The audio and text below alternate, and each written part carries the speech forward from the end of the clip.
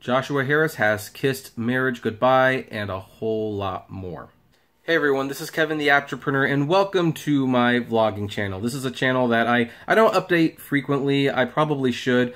I, I kind of consider it more like a personal diary. I talk about life, the universe, personal feelings, and this topic that we're going to talk about today is definitely going to be an interesting one because I'm going to be opening up about a lot of myself, a lot about myself that you probably are not aware of, and it's actually something that I'm kind of glad that I don't um, have a lot of followers on this channel because I'm kind of interested to know what everyone's going to respond to it, and yet I'm kind of afraid to share it.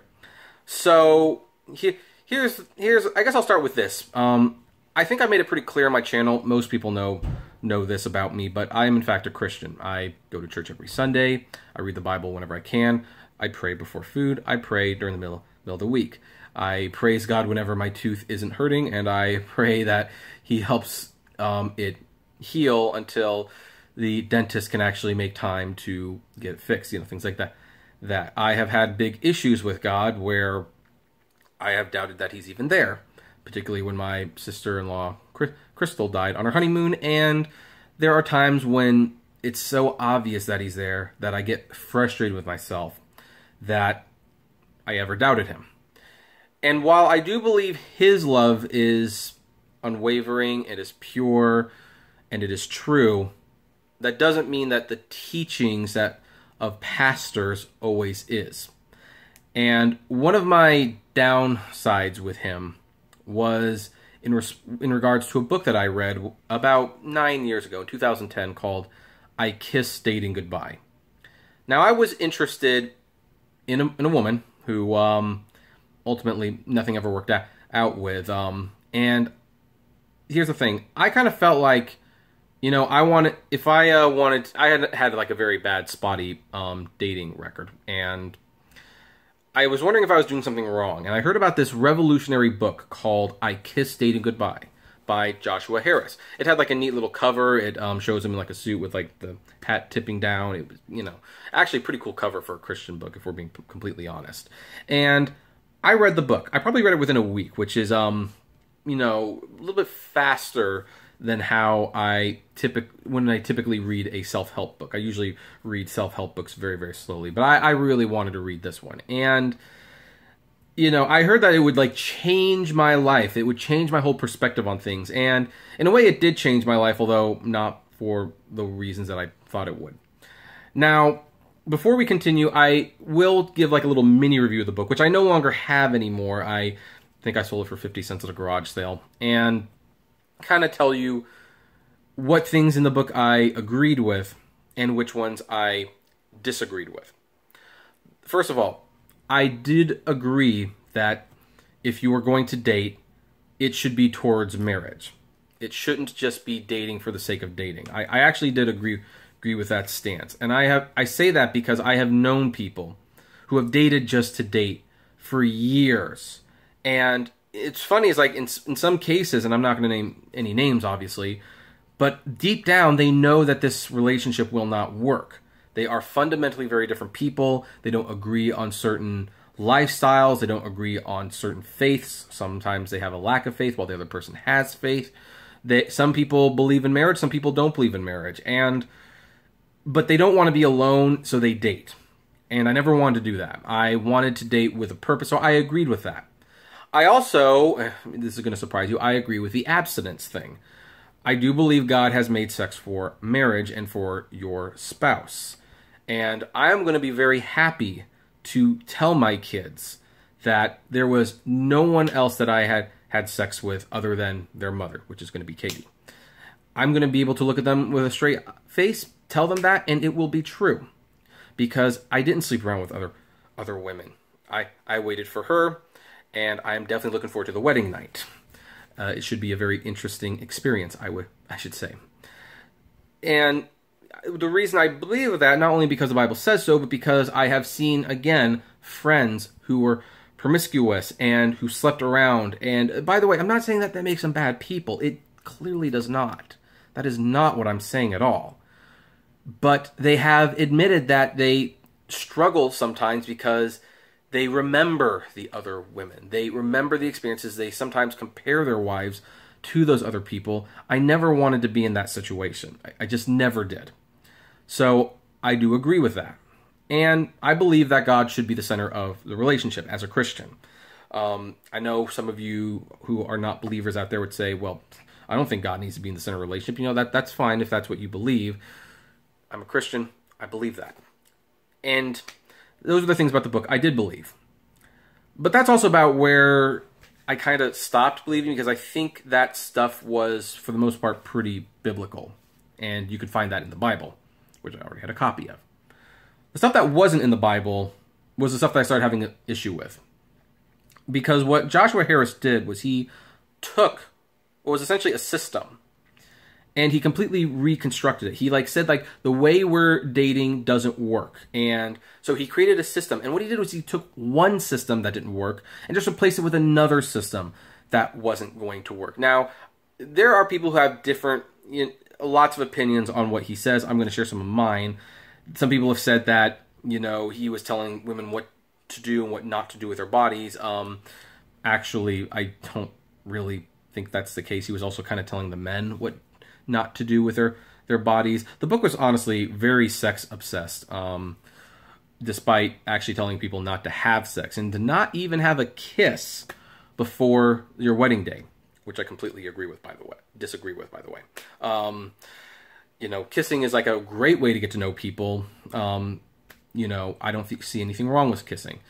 Um, it promised like an like the best sex life ever if you just followed these rules, which um, is not guaranteed. I know that. Um, and he also discouraged like group, like single dating.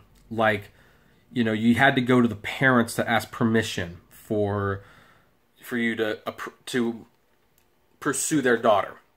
And once they said yes, you could never go like a one-on-one date. Always group dates, always family dates. I I resented that for a couple reasons. First of all, um, parents can be very unreasonable when it comes to their daughters. Um, they don't always like. Some people just don't, don't like the idea of their daughter dating anyone, which that creates a problem if this is how you're going to do it.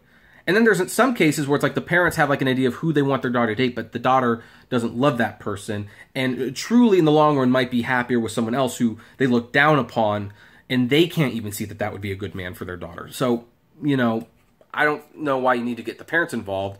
But then it's like you need to always be in like a group setting. That that didn't make any sense to me because it was like, well, um how should I put this? People act very differently in groups compared to one-on-ones. And as someone who is like extremely shy and antisocial to a certain extent, that was never going to work. I needed to get to know them on a very personal level. And so there you have it. I didn't agree with that. And the more I read it, like, you know, don't write letters to people, it wastes a lot of stamps and it just leads to heartbreak, which he doesn't know that. There's a lot of lo- long distance relationships that turn into marriages all the time. So, after I read the book, I honestly wasn't going to give it much thought. I kind of found out that he was 21 when he wrote it, and that made a lot of sense. And I was like, you know what? No, just just no. I, I, I was not a fan. I was not a believer in the um well again, outside of, you know, staying pure until marriage, I was not a fan of the Josh Harris um marriage gospel or whatever the heck they called it. Interestingly, it would not be the only time that I dealt with it because the church that I go to is actually a si- uh, sister church of the Sovereign Grace Church, which Joshua Harris was the pastor of at the time. And so apparently this book was being read by virtually everyone in the church. And I actually found a lot of resistance from some of the, the women there. Uh, there were a couple in particular that I, after this first person didn't quite work out, that I did want to explore the possibility of a relationship with. And um, that didn't happen. And it didn't happen not because we didn't get along. We clearly got along. And it didn't happen because they weren't romantically interested. Maybe they were, maybe they weren't. We don't know. The reason it didn't work out is because with these girls, they did not want to be friends because of I Kiss Dating Goodbye. Like I'd invite them to do something and they would say, "Well, it has to be this way." Like, "Well, why?" Because it said so in this book. And and they were true believers in this book. And this happened a couple times. And after a while, I really started to resent resent I kissed dating goodbye. I I saw it as more of an intrusion and it was not biblical. I even like asked them things like, "Well, what about this thing in the book?" Like at the beginning of the book there's this passage where it talks about a man and a woman getting married. And he's saying his vows like, I'm going to love you forever, there will be no one else. And then all the ghosts of girlfriends pasts, essentially. So like, oh, remember when you promised me this, remember you promised me this. And Harris's illusion for this was that when you fall in love with people, and by the way, this wasn't even just talking about the sex. Like, uh, this was just, you know, falling in love. Like, you gave away a piece of your heart. And if you do that so many times, when you find your one person that you're supposed to be with, how much of your heart will you have left? I thought that was total horse donkey. Total horse donkey. Because at that point, it's like, well, what happens if you have kids then? Do you know? And you fall in love with your kids. Not, not in the romantic way, of course, but does that mean when you have like a second kid, you don't love that kid as much as the first? Does that mean you love your wife less because of the kid? It, it didn't make any sense. And yet, people at the church really believed it. Now, this was nine years ago. And in those years, no one in the church really reads the book anymore. And in fact, Joshua Harris did a documentary called I Kissed, or I think it was called I Survived, I Kissed Dating Goodbye. And he basically came to the conclusion that while he agreed with some of the beliefs in the book still, it overall was very flawed and many, much of it was not biblical and he asked for the book to be withdrawn. And I actually thought that was like very admirable thing to do. And at that point, I finally forgave Joshua Harris for everything he did. And then there was a few bombshells about him, and becomes problematic. Now, here's his Instagram post that definitely got me started on this. Um, this is him and his wife uh, Shannon, who uh, he ended up writing about his courtship with her in um, a future book, um, Boy Meets Girl. And he wrote, We're writing to share the news that we are separating and will continue our life together as friends. In recent years, some significant changes have taken place in both of us. It is with sincere love of for one another and understanding of our unique story as a couple that we are moving forward with this decision. We hope to create a generous and supportive future for each other and for our excuse me, our three amazing children in the years ahead.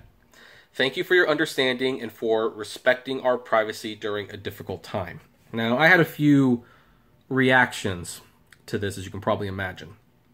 First of all, um, this is clearly a PR message. Like, this is about as impersonal of an announcement as you can get. And we will find out why in a later post, but I frankly looked at this and it's like you get the sense right away, like, you know, what are you hiding? What are you hiding? So that was admittingly my first reaction. Now here's my second reaction, and admittingly the second reaction should have been my first. I felt heartbroken that um, that it didn't work out. Not because I wanted his book to be validated or anything like that, but because it's just it's an ugly thing when you see people get divorced and it's sad. I've seen more divorces I can count, and you know, it's always a very heartbreaking thing to witness. And some people might say, well, this is why you don't get married, so you don't have to get divorced. No, it's just as heartbreaking when I see someone who's been dating for 12, 15, 20 years, and then they decide they don't want to be together anymore. And it's like, it's just sad all the time. And then the third thing, and this was after I read some articles, I felt a little bad for Joshua Harris. Because obviously, here's the thing a couple getting divorced is typically not newsworthy, it's normally not worth talking about. But a lot of people held, held, really strong and negative opinions towards Joshua Harris. And, I, and I, I understand why. I was one of those people. Because Joshua Harris's book did you know, like in, in, at least at the time, and I'll, I'll, elaborate why I don't feel this way at the end of this video. At the time, I felt like his book had intruded on my potential happiness. Like, you know, maybe I could have gotten married a heck of a lot sooner had this book not existed. Maybe, you know, I would have been on more dates had this book not existed. Clearly, all the women in the church, all the girls in the church were uh, reading this thing and following it as gospel. Um, and it actually even resulted in some friendships like falling apart because it was so I mean, I argued it so much to them, like this is not biblical. It really isn't, and it was like I was attacking them. It was like I was attacking their belief system, and they they actually kind of stopped being friends. So I blamed for a long time Joshua Harris and I kissed dating goodbye, which uh, was wrong for me to do. And I again I will explain why near the end. Now, before we get to the end, there was an update, and I didn't realize I would be talking about this. But if you go to his Instagram, he has like a follow up post and this, by the way, is um, is by the way the far more concerning one as far as I'm concerned. And it, I, I feel now I feel truly concerned for him. He says, My heart is full of gratitude. I wish you could see all the messages people sent me after the announcement of my divorce. They are expressions of love, though they are saddened or even strongly disapprove of the decision. I am learning that no group has the market cornered on grace. Which, um, yeah, I wish uh, you can kind of see where this is probably going. This week, I received grace from Christians, atheists, evangelicals, uh, evangelicals, straight people, LGBTQ people, and everyone in between. Of course, there have also been strong words of rebuke from religious people, while not always pleasant. I know they are seeking to love me. There have also been spiteful, hateful comments that angered and hurt me. And admittingly, considering this book did affect a lot of people's lives, some people like skipped their high school dance and stuff. Um, probably, I, I actually like one of the persons that I know is still single. Like, I believe she's still um, trying to follow the I kiss dating goodbye method, and it's not working, and she's extremely frustrated and angry about it. Um, and because we're not friends anymore, I would like to know what she thinks about this. However, I know that's probably not going to happen. The information that was left out of our announcement is that I have undergone a massive shift in regard to my faith in Jesus. The popular phrase for this is deconstruction. The biblical phrase is falling away. By all the measurements that I have for defining a Christian, I am not a Christian. Many people tell me that there is a different way to practice faith, and I want to remain open to this, but I'm not there now. Martin Luther said that the entire life of believers should be repentance. There's beauty in that sentiment, regardless of your view of God. I have lived in repentance for the past several years, which, by the way, I, I believe he has. I mean, he has been basically doing an apology tour for several years, and he made that a full documentary, which he's given away for free, and he probably could have made money on that one and he asked his publishers to pull books that were wildly successful and still making him a lot of money. Granted, they might have pulled it anyway when you we see what he's about to announce, but anyway.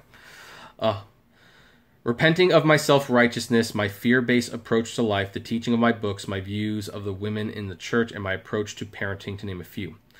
But I specifically want to add to this list now to the LGBTQ community. I want to say that I am sorry for the views that I taught in my books and as a pastor regarding sexuality. I regret standing against marriage equality for not affirming you and your place in the church and for any ways that my writing and speaking contributed to a culture of exclusion and bigotry. I hope you forgive me. Now, that's a lot to unpack, and the, honestly, if I start talking about that, that would open a big can of worms. But um, I do agree that um, I do agree that he should apologize for not feeling gay people welcome at church because it went beyond sensible um, uh, sensible opposition to the lifestyle. To my Christian friends, I am grateful for your prayers. Don't take it personally if I don't immediately return your calls. I can't join in your mourning. I don't view this moment negatively. I feel very much alive and awake and surprisingly hopeful. I believe with my sister Julian that all shall be well and all manner shall shall be well. Um, and anyway, there's like a lot um a lot of people have very mixed feeling um about this. So like, you know, including this one, you allotted teams of the 90s an apology to a big one, your idiotic book, and ridiculous theories on dating ruined lives and robbed opportunities that can never be reclaimed. Youth pastors rammed your book's content down throats and poisoned parents' guidelines on teen relationships. Karma will catch up with you. You are shameful. Did he respond to this one? I'm kind of curious if he responded to, to this one.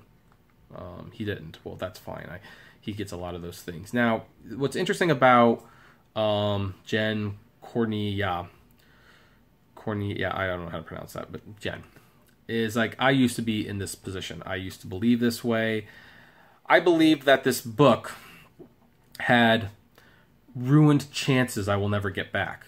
Not because I was, and I wasn't even following the book. I, I thought the book was bumpkiss, but with the exception of a few core ideas. But other people did believe it was true, and um, I felt like I had missed out on some opportunities. Maybe some people had passed me by. Who knows? But here's why I want to talk about this, and it was even before I knew this. Like, if he has truly walked away from his faith, then I hope he finds his way back. I hope everyone finds their way to Jesus because I do believe he is the way, and I, I want people I like to show up in heaven. I, I really do. It's it's not even that I want to ram my religious down religion down your throat. It's just I truly believe it's there, and I believe when you reject it, then there might you will be missing out on some great things after death. And I believe you miss out on some good things in life too. Um, although certainly Christians don't have the market cornered on a good life. Um, I have some atheist friends who don't believe in God, and they frankly make a lot more money and have more things than I do. So you know, you know, God doesn't play fa- favor. It's like I don't believe in this whole prosperity gospel thing. Um, the uh, divorce is definitely sad. I believe she has walked away from her faith too, and I find that very interesting that basically they both walked away from faith and decided to get a divorce at that point. That I think is very telling for so many reasons. But here's the main reason I wanted to talk about this on my vlogging channel. Because as I'm reflecting upon this, ironically, I still see God's work in all of this in my life. And some of you might not agree with me. In fact, some of you probably don't even believe. And so therefore, you, are just making fun of this whole video. And that's fine. I'm not making this video to argue with anyone on this because I don't believe anyone ever gets to heaven because they lost a debate, which is why I think Christian debates with scientists are so stupid, to be honest. Like, are we going to get to heaven and say, like, oh, so how'd you get here? It's like, well, I lost a debate and now I'm stuck here. Like, no, that's you either believe or you don't. But I was not happy to hear Josh Harris and his wife are getting divorced. I think it's very sad. I'm even more saddened that Josh Harris has walked away from God. And I wish I had been praying for him more. I wish I hadn't been part of the mob because the truth is, by those people um, pretty much rejecting me because they wanted to follow this book, showed that we weren't right in the first place. We weren't right because I'm not that rigid when it comes to rules and regulations. I play a little loosey goosey with some things.